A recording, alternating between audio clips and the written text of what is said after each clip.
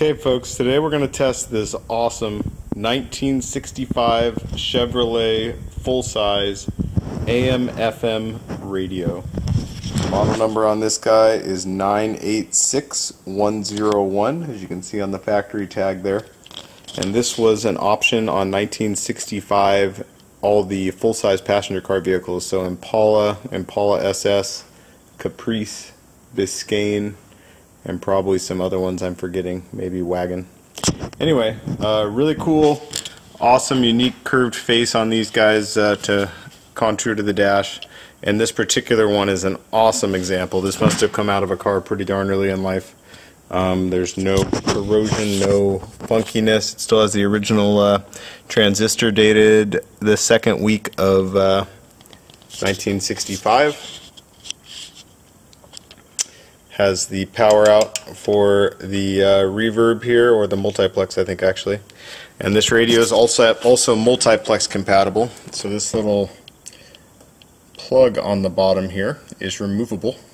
If you remove that plug and you plug in what they call a multiplex adapter, it will turn this radio into a four channel stereo radio, which is a pretty cool feature. I plan to list one of those in my eBay store here shortly. Um, the Radio is complete with the inner and outer knobs as you can see in really nice shape and the face is in amazing condition. Both the AM and FM indicators are still there, those are commonly missing. The uh, dial fully flips from AM to FM. Needle is still bright, the chrome is awesome, push buttons are nice, just a nice, nice unit. So we're going to test it today. We have it hooked up to a 12 volt power supply, the correct 8 ohm speaker, and an antenna. And uh, before we get started, I want to tell you that where I live here is a valley, and we're also in a steel building. So we get pretty weak AM reception for the first half of the dial, first off, and the steel building gives us a pretty, uh, a pretty gnarly kind of buzz to the radio, and that's just interference from the building static electricity and the electricity going through the building. Anyway, uh, keep that in mind. The AM is going to work great when you have it installed in a vehicle and you're not in a valley inside a steel building, but that's what we're dealing with right now. FM does not get affected by that, so no worries on that. Okay, here we go. They're very superficial. And the other... Round radio, I hope you'll join us again tomorrow. This one actually has really good reception for where we're at. Full of vitamins and minerals and.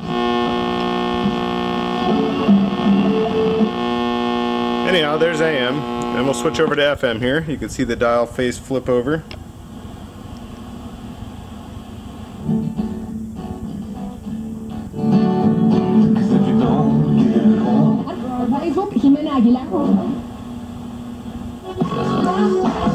Lots of stations.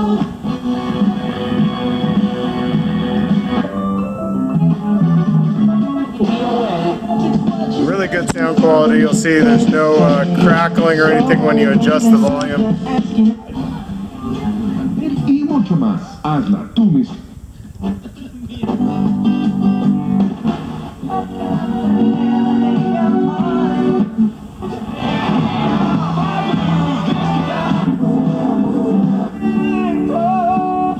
Eric Jones. Wouldn't pay, although I might watch it for free. Also Netflix related. Anyway, awesome reception all the way through the dial. I'll show you the push buttons work here. If I didn't even try them before we started. Give me one second. I'm still here with you. So I'll have to go in and uh, verify that the push buttons work. I don't want to push them too hard without lubricating them first. So I'll, I'll verify that they do work. Oh, we're out of, out of focus there. There we go. Yeah, so these, uh, you can see when I push in, it tries to move it, but I don't want to push too hard without going in there and relieving it first. Anyway, very nice radio. I'm sure that the push buttons will work. Very nice unit. Don't miss it.